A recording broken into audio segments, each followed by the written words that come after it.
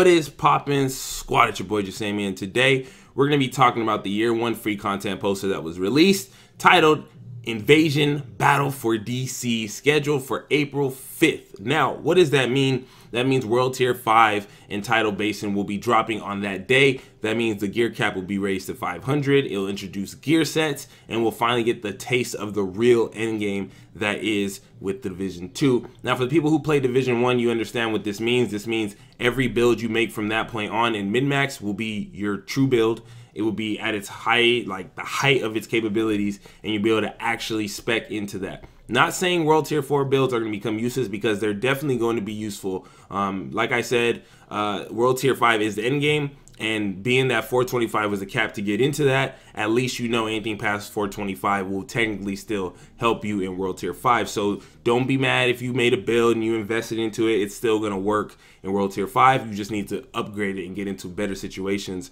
and better drops. So if I'm going to give you guys some quick advice, um, right now I think you should probably halt. Now that we have a date, you probably halt making builds that cost resources. Yes, you can still theorycraft, put builds together, and kind of just you know play puzzle piece, but don't try to re-roll everything for perfection until we fully understand how the gear is going to drop and what how what level it's going to be at and what how crafting and all that's going to work. Because now that 500 is going to be the top tier, right now the gear you can only roll up can go up to 465, which was going to be too low if you're trying to min-max So it's no point in wasting all your resources, especially if you're going to be able to upgrade your crafting bench and craft a brand new piece for that. Now, if you already did it and you already have your build set, that's fine. Like I, I have like six builds I'm going to be rotating across.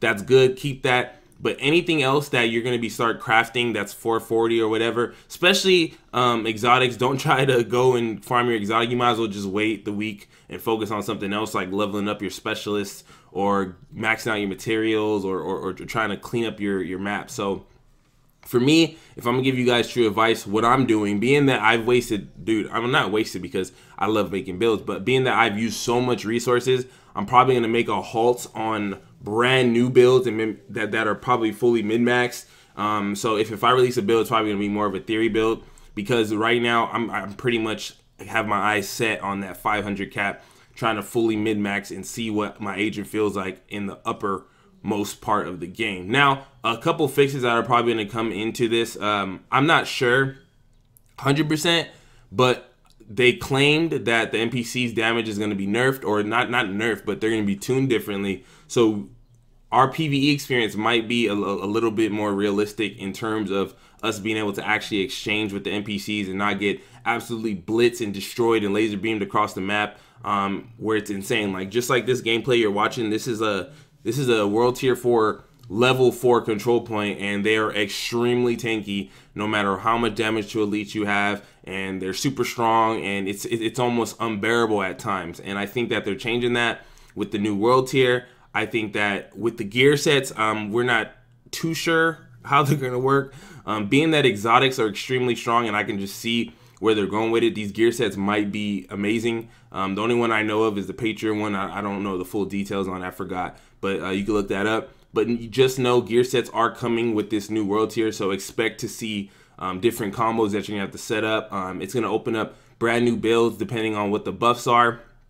Now, as far as more exotics, as far as like exotic masks and backpacks and stuff, I, I don't know if that's coming with it, but I would assume being that heroic difficulty is coming, I'm pretty sure that we're gonna have some new rewards in line with this new world tier. Now, for the people who are aren't even at world tier four, just continue grinding your game. Don't try to speed up because you feel like you don't want to be left behind. I promise you, nobody's going nowhere.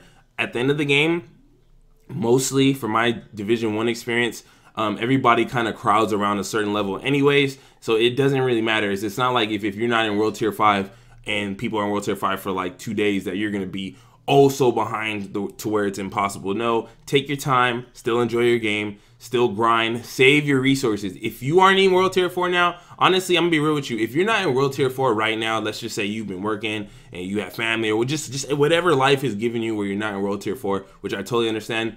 Do not go crazy trying to make builds right now because you're, you're gonna be blowing through resources and you're gonna end up being in World Tier 5 so fast because a lot of us would have been in World Tier 5 had it been released. If you think about it, um, we would have been in World Tier 5 for a probably a week now. So save your resources. Um, keep grinding. Enjoy the game because you want to do that first grind once, and you will receive a, a, a standing ovation from all of us in World Tier 5. If you have friends that are there, and let's say you wanted to just I don't know, have them drop you some gear just so you can get up to speed, you can do that. But as of right now, I will my best advice is to enjoy the game because now we're going to have a full slice of what the game has to offer. And as many of you seen, it's no question that a bunch of content is on its way, dude.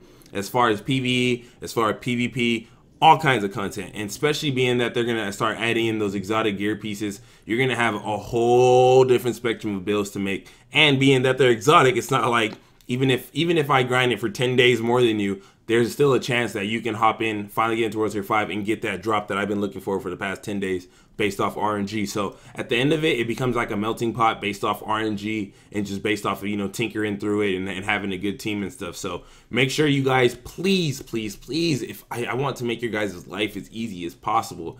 If you don't take any other advice I ever give on my channel, let's just say you're just prideful and you just never took my advice, take it today.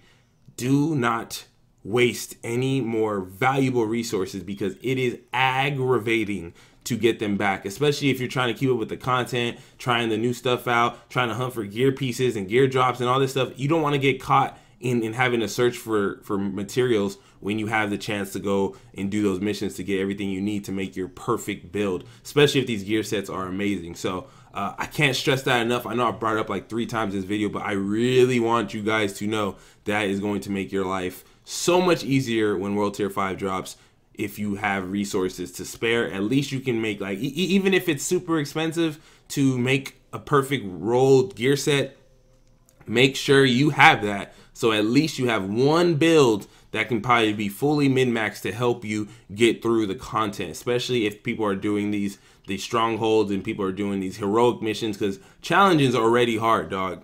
Um, a lot of a lot of people can't even do challenging right now with 450 plus gear, let alone heroic where they're going to be like 10 times smarter. If you play Division 1, you know that we had our base NPCs that were and they were kind of they were kind of dumb and then the legendaries where they're like ridiculously smart. These NPCs are smart at base. So imagine what their legendary and heroic versions are going to be like. We you don't even want. I don't know. It's just like fighting all hunters. So prepare for that. Mentally get yourself ready. Find your build, find your niche, max out your specialist. This is what I need to do. Max out your specialist. And even right now, like if if you wanted to be crazy and just be super frugal, make a new character right now. Let's say you have all your gear and you're good and you're ready for World Tier 5. Make another character, dude. And that's what I'm, I'm thinking about doing. Make another character, invest into it so you have some more um, inventory space so that you, you have a whole nother character to go to for if, if there's like daily events and all that stuff because it's it's easy all you have to do is drop your gear into your stash and you're and get get to level 30 get past your strongholds and your character is going to be basically in world tier 5 as well so make sure you guys somehow some way find the best way to save your resources to stack up on certain things to get gather every weapon gather every weapon you possibly can we don't know what changes or buffs or nerfs are going to come. So make sure you have the arsenal ready. Um, that's why I say make another character so you can hold some of the pieces of, of weaponry that, that you probably don't necessarily like that are probably not good enough for you. And just so you can be prepared for anything. Prepare yourself for World Tier 5. Prepare yourself for Endgame. Do not be left behind because you want to focus on what is right now. I'm not saying don't stop build making, continue theory crafting, continue sculpting your playstyle, but at the same time, be smart about it and do not drop off all your resources on something you're probably not going to be using come two weeks or so. So April 5th is the date. Um, Basin is the mission. You will be projected in the World Tier 5. You will be dealing with new challenges, um, bounties, and all that stuff because I believe the Heroic comes out with it as well. So it's pretty much it, you guys. I, I, just wanted to give you guys like a little briefing. You know what I'm saying? It's our little team squad meeting uh, to, for the people who just weren't up to speed so you can be prepared for this because it is coming and it's going to be lit. The builds are going to be insane, and we're going to finally see what the true, true, true, true, true end game of Division 2 it looks and feels like. So be excited for that. It's going to be a bright future ahead. I love y'all. Appreciate y'all. Get to grinding. Your boy is out.